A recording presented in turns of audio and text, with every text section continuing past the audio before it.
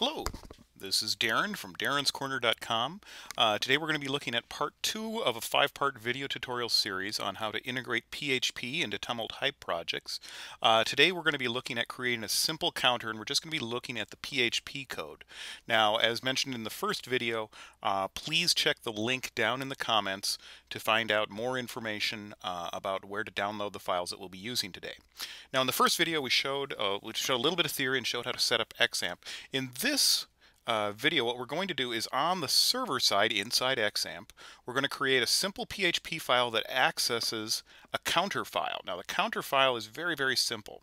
Uh, and what happens is every time that counter file, every time that PHP file is accessed, it's going to read the value in the counter file and then increment it by one and then write it back to the counter file and then display the results on the web page. So you've seen this before as a hits counter where we can see this web page has been accessed and the first time we do it one time and then two and then three and then four and so on. So that's kind of what we're going to be working on today. Um, uh, I've got XAMPP up and ready to go. I'm going to click Apache Web Server and say start and wait for the green light. And we're waiting. By the way, I think I'll also start up the MySQL database just for the heck of it. So we'll say starting there. And we'll be using the files in the part 2 folder from the link mentioned earlier. So there we go, it's running. You can bring this down. If I bring this up and go to localhost, it's working. And since I am running the MySQL server, we also will see PHP MyAdmin should be working. So if I click on that, here it is. This is what we'd use to set up a uh, PHP, uh, excuse me, a MySQL database, uh, but we're not going to do that today. So we go here. Uh, I'm going to open up here are my files. Uh, I'm going to put them into my htdocs directory, and I think I'll just put the whole folder there. I'm just going to grab part 2, edit copy, go into here, paste. There it is, part 2. And inside here, there are three files. We'll only look at two of them, the index and the counter file. The counter file is a simple ASCII file. It's very, very basic. One line and it just has one in it. So the first time that we access this, we're going to see one, uh, and then we're uh, going to increment this um, by one each time. So the index file looks something like this. Let's actually see it in action. Uh, first of all, and then we'll explain it. So I'll go to localhost forward slash part 2 slash index.php. There we go. And right now this just outputs counter test on and then it shows the date and the time this web page has been accessed two times.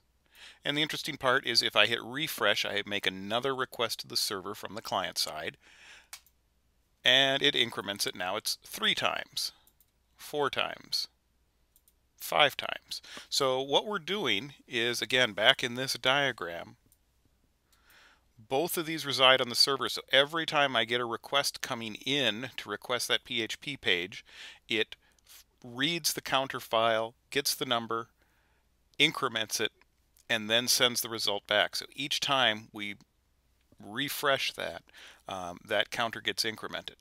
Now the code to do that is not too complex. Um, again, I would strongly recommend w3schools.com and go under the Learn PHP to see some of this stuff of how to work with variables and increment operations and things like that. But let's look at the code real quick. Here we saw looked at counter. Let's look at index.php. View text display show fonts and we'll bump it up to 18. So the first uh, 13 lines or so, really standard HTML Nothing tricky here. HTML head, title, some style, nothing big. Head, uh, closing head tag, body, H1, and then we have our PHP here, and then we close the body in the HTML. So what we do is we first run a command fopen counter.txt read only. So this will open the counter file and we set that equal to a variable called, I called it counter file. You can give these variables any name, I just thought it made sense. And then we do this command, fgets counterfile 1000. And what this will do is we'll read the first line out of the counter file and assign it to the variable counter value. Now the first time we run this, it's going to be 1, and then the next, and then we're going to increment it down here. So the next time we run it, dollar sign counter value will be 2, and so on and so forth. And then we close the counter file. Now I like to do this in two parts. Some people will do it a little bit differently. I like to read the value, and we have the variable counter value. So we read that, and then we're increment. We do dollar sign counter value plus plus. That's an increment operation. So it says take the value of it, increment it by 1. Um, and that's the new value. We could also say the new value of counter value is equal to the old value plus 1. Then I do an F open, but this time I use the write option, which means I can write over it. Um, open up counter.txt, assign that variable to counter file, and then I do it, I do an F write command, and I say write to the counter file, this one, and I'm going to write counter value, which I've already incremented here, and then I do an F close. Lastly, I have date, default time zone, American Chicago, and I say, I got to make this a little wider. I do a print statement, a paragraph on this day at this time. This web page has been accessed, and I close my paragraph tag, open a new one, and I say counter value times right there.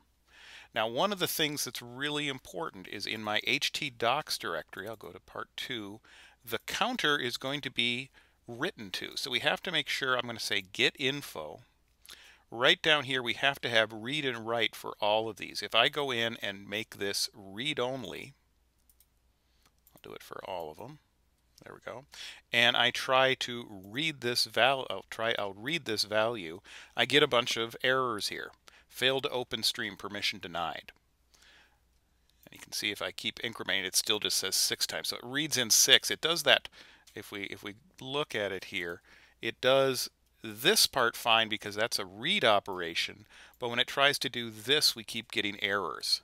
So that's why if we if we take a look at our uh, file here, uh, lines 22, 23, and 24 saying uh, F open and F write we're getting warnings on. So lines 22, 23, and 24 aren't working. So all I have to do is go back, oops, go back into part 2 counter, and again I have to get info and make sure this is read and write, read and write, read and write. Now this is, and I'll increment again one more time, refresh, there we go, six times. Seven times, eight times, nine times. So 10 times, something like that. So this shows uh, how we can kind of manipulate things on the server side.